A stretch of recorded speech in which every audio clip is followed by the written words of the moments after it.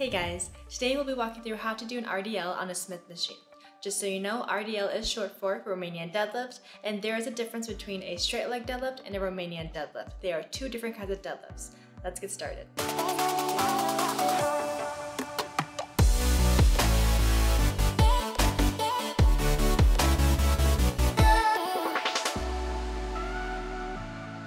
So before we hop onto the Smith machine, we're going to take a closer look at just form with the pre-weighted barbell.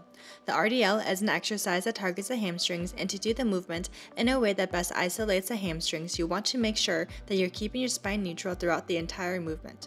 As you can see, my back is never rounding or arched. This helps to minimize strain on your back. One of the best ways to help keep your spine neutral is to inhale right before the rep and contract your core and keep it contracted until you feel a stretch in your hamstrings. Once you get to the point where you can no longer lower the bar without compromising your form, squeeze your glutes and exhale which will automatically push your hips forward and bring you back to starting position.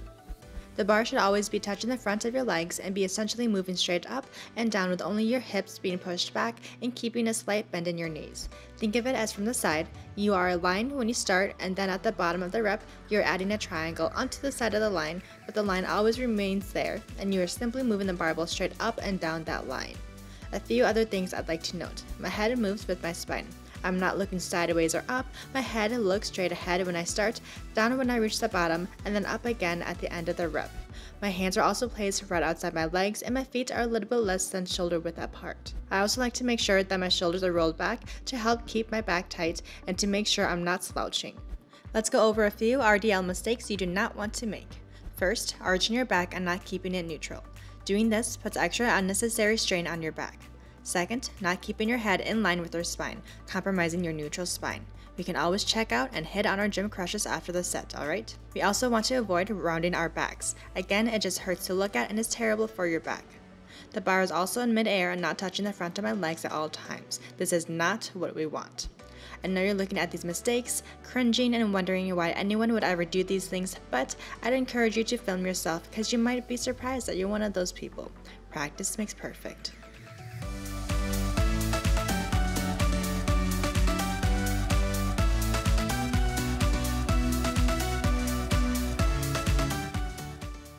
Alright, that's a ton of stuff, so let's go over it all again. Feet are positioned a little less than shoulder width apart and pointed straight ahead. Hands are positioned right outside my legs. You can choose whatever grip style is most comfortable for you. For RDLs, I like to do an overhand grip. I'm looking straight ahead and shoulders are rolled back.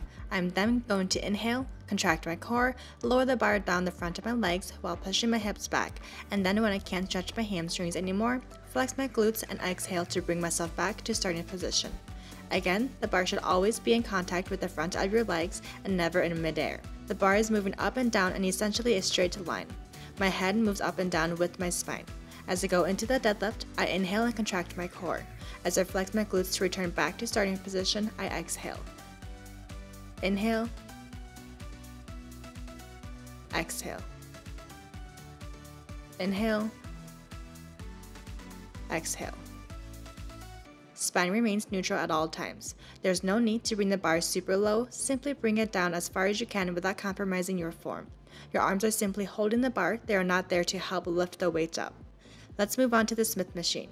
If you're unfamiliar with how to use a Smith machine, I'm going to refer you over to my How to Squat on the Smith machine video where we go over how to use a Smith machine. I will be standing on an elevated platform just because even with the safeties at the lowest setting, I don't get enough depth. You may have to play around with your foot positioning in order to get it so the bar is always touching the front of your legs, but once you do, it's the same stuff we were doing earlier except on the Smith machine. Feet a little less than shoulder width apart, hands positioned right outside your legs, shoulders rolled back and looking straight ahead. Inhale, contract your core, lower the bar and push your hips back. When you can't stretch your hamstrings anymore, flex your glutes to push your hips forward and bring your back to starting position and exhale. Inhale, exhale. Inhale, exhale. Remember to keep your spine neutral and bar touching the front of your legs at all times. Your head should move with your spine. One more thing to note. When choosing the rack height to leave the bar on before and after your set, you should choose a height that is just a little bit below the length of your arms so that you can easily unrack and re-rack the bar with little to no effort. And that's it. You now know how to RDL on the Smith machine.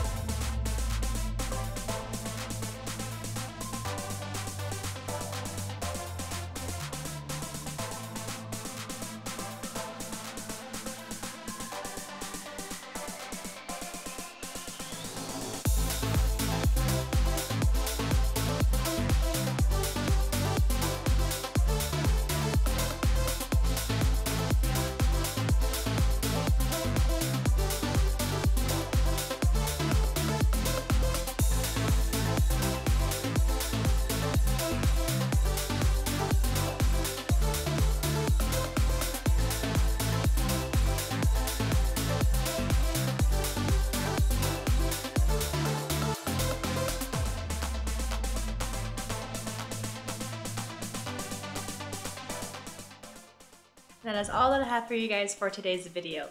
If you found it helpful, make sure to give it a thumbs up. And if you have any other questions about how to RDL, make sure to comment them down below.